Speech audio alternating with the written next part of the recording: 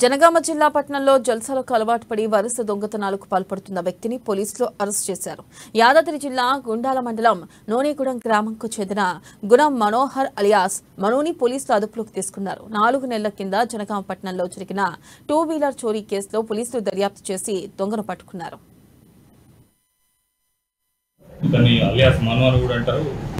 మనోహర్. మళ్ళీ అవన్నీ మీకు డీటెయిల్స్ ఎలక్ట్రానిక్ మీడియా కోసం మళ్ళీ డీటెయిల్స్ అండి తూన మనోహర్ అని చెప్పి నూనెగూడెం గ్రామం గుండాల మండలం యాదాద్రి భువనగిరి డిస్టిక్ నేను ఎలక్ట్రీషియన్ వర్క్ చేస్తాడు. కాకపోతే జలసాలకు అలవాటు పడి దొంగతనాలు చేద్దామని నిర్ణయించుకొని నాలుగో నెలల ఇక్కడి నుంచి మన దగ్గర నుంచి ఒక ఎక్సెల్ బండిని ఎత్తుకెళ్ళిండు. తర్వాత మళ్ళీ మొన్న ఒక యాక్టివ్ అది బండిని తీసుకెళ్ళిండు. దాని తర్వాత మా ఎస్ఐ గారు తర్వాత టెక్నికల్ ఎవిడెన్స్ తోటి సీసీ కెమెరాలు ప్లస్ ఇంకా వాళ్ళ కవర్ లొకేషన్ సీడీఆర్ తోటి పట్టుకోవడం జరిగింది. ఈ రెండు వల్ల ఇంత దగ్గర నుంచి సీజ్ చేసినాం. ఈరోజు రిమాండ్ పంపిస్తున్నాం పూనం మనోహర్.